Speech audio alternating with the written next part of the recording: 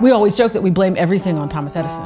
You know, we, we blame the failure of Western musical vocal technique on the fact that a mic will record you and amplify you. The meat of my life is spent helping to train unamplified voices. If you can spin your breath out long enough, you can sing absolutely anything. And if it goes higher, if it goes low, whatever if you take the technical skills, not the way the notes are written, but what your body has to do, just the athleticism of it, you can sing anything.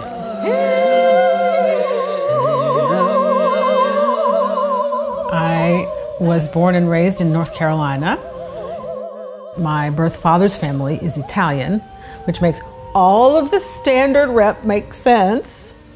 My birth mother's family is part Chickasaw. And the only other opera I've ever worked on which touched both of my heritages was La Fanciulla del West, the girl of the Golden West. And you know how Native Americans are represented in that, in Act Two. But to go from Fanciulla to Sweet Land, that lets you know you're alive. like, there's nothing like it.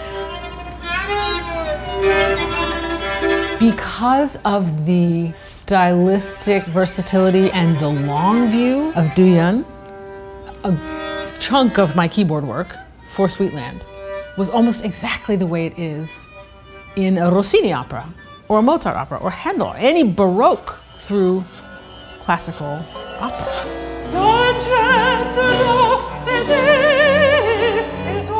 She had me improvise a B minor aria with a harpsichord stop. It was bracing and delightful, and at the same time, very much in my wheelhouse because that's what I would do for any Baroque piece on stage or in the pit. Watching people at that level of talent and savoir faire and playfulness is unparalleled in my life. That's the quality and the vitality of artists that, the industry attracts. My curmudgeonly self, the self that wants to do standard productions of La Traviata or Lucia di Lammermoor, thinks, what will these crazy kids come up with next?